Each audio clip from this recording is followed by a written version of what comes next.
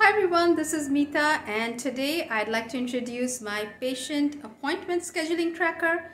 Very easy to use.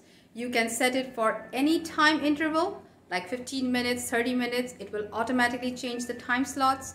You can set it for any start time and any start date for any month. Plus you can also use color-coded status indicators for each appointment tracking. So let's see how this works. Welcome to my brief demo of my patient appointment scheduling tracker. Uh, this is a very easy to use tracker and very useful. Uh, let's jump right in. Uh, this is the month of Jan. I have a scheduling sheet for each uh, month of the year. So you have the dates listed up here on the top, each day of the month and all of the different time slots for each day. Uh, now say you want to set up a, an appointment for the 7th of Jan uh, for 8.30 a.m. You go to that particular box and you click on this automatic drop down list of all your patients. Uh, select one name, say it's Sam Bernard. And over here to the left, you also have a visual indicator of the status of the um, appointment. So say the day before someone had called him and had confirmed uh, the appointment. So we can select C for confirmation and you see it's uh, highlighted in light green.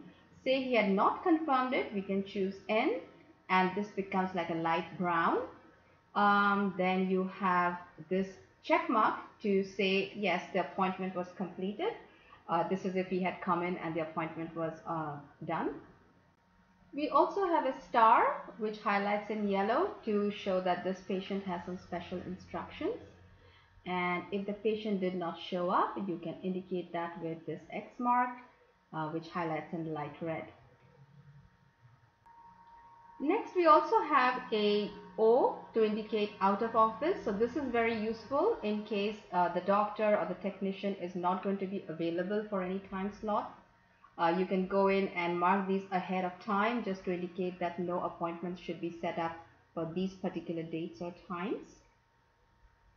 To remove the information in any box, simply go to that cell and hit delete. Uh, you'll see everything gets cleared out. You can delete the patient name too if you like.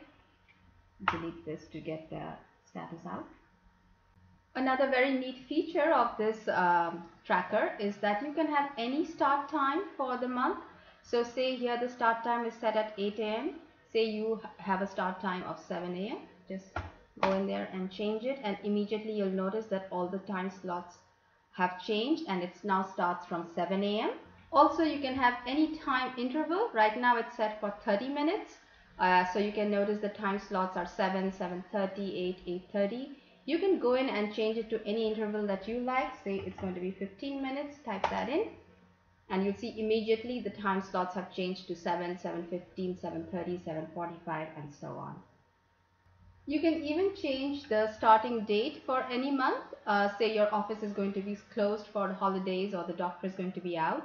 Uh, say you want to start from the 15th of Jan, just go in and change the date to the 15th of Jan as the starting date and you'll notice that the dates have all changed. It now starts from the 15th and so on. Then we have the patient information tab and over here is where you can enter all the pertinent information related to each patient.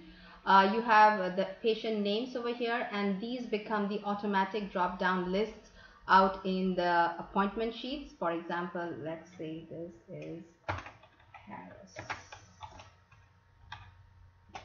And if you go into any sheet, um, you will see the name has been added. Uh, you can also record the visit date, the date that uh, of the appointment, uh, the visit type. You have 15 types of visits that you can enter. You have 30 insurance company names that you can enter. You can enter the payment, um, the telephone number, email, any special instructions and notes.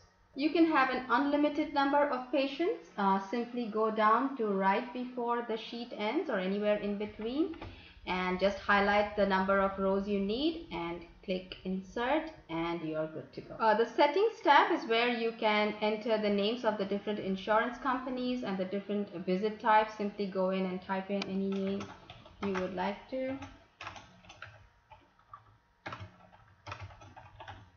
Uh, similarly for visit type, let's say consultation or whatever you would like to um, describe it as.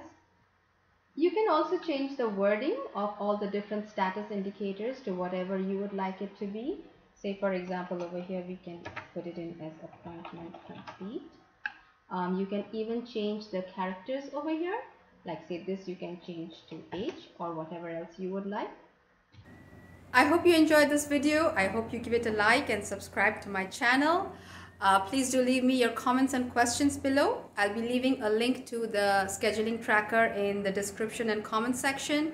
I can also be reached at my website moneyusage.com.